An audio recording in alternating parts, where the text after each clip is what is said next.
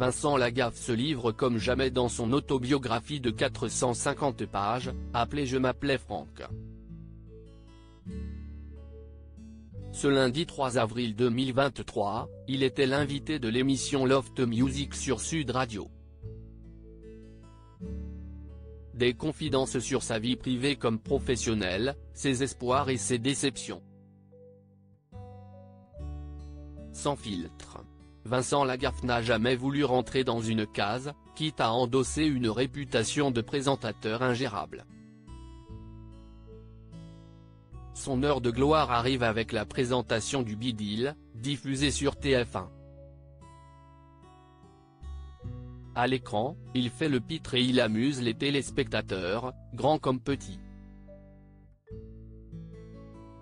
Aujourd'hui encore, l'émission fait partie des programmes les plus appréciés de la chaîne. Récemment, Vincent Lagaffe a posé ses conditions au retour possible de l'émission. Sur Sud Radio, Vincent Lagaffe est revenu sur le début de sa carrière. Le parcours d'un jeune homme parti de rien, et qui se retrouve soudain parmi des géants.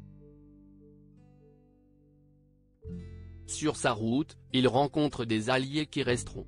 Et d'autres qui partiront. Comme Jean-Marie Bigard, qui a expliqué pourquoi il avait quitté les Enfoirés. Vincent Lagaffe et l'humoriste ont débuté ensemble. De galère en galère, ils s'épaulent et ils y croient.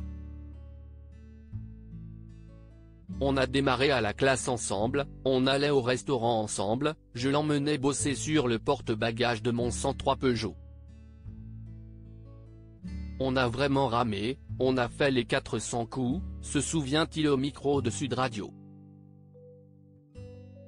Quand on se voit, on ne se met pas sur la gueule rassure Vincent Lagaffe les deux compères semblent alors inséparables. Ensemble, ils enchaînent les galas.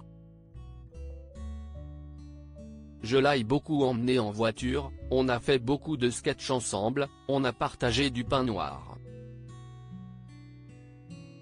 Et puis un jour, il pète un plomb. Vincent Lagaffe explique que l'humoriste aurait refusé qu'ils soient tous deux invités dans la même émission. Donc je l'appelle pour lui demander ce qui se passe. Et là, il me dit, dans ton bouquin, tu as été dire que tu m'avais appris le métier et je ne peux pas accepter ça. Je lui ai dit, mais Jean-Marie, je n'ai jamais écrit de bouquin. Donc il y a eu un silence, et c'est vrai qu'on se parle moins maintenant.